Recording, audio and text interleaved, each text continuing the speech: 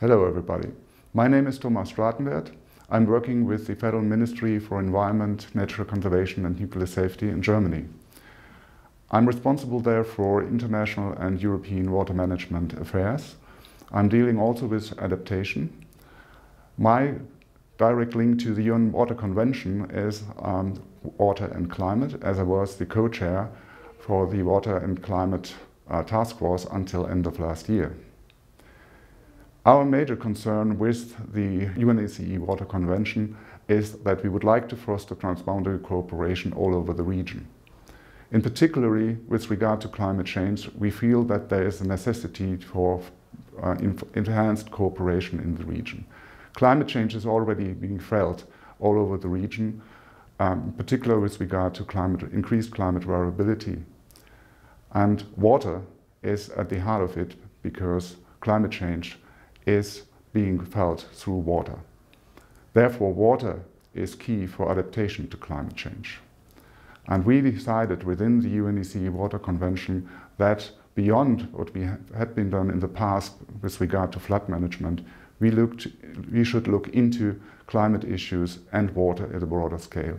And we started up this task force several years ago.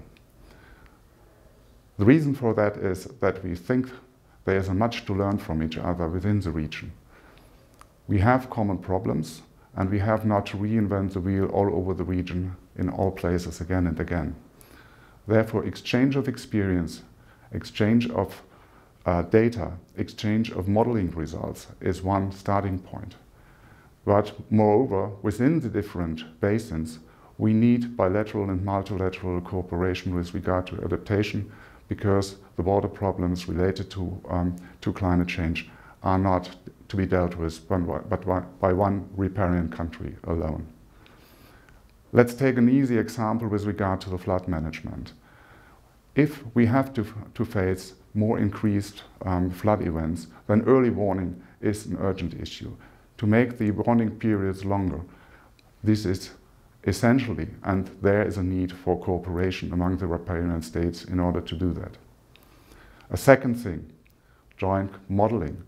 Modeling and collecting data on um, climate change impacts is a difficult and it's sometimes also expensive exercise. So doing that together is more efficient and helpful for all the riparians. The upstream downstream problems also in particular increased by climate change in the future.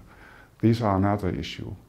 Uh, think about saving water upstream in order to have it available downstream in a water scarce time.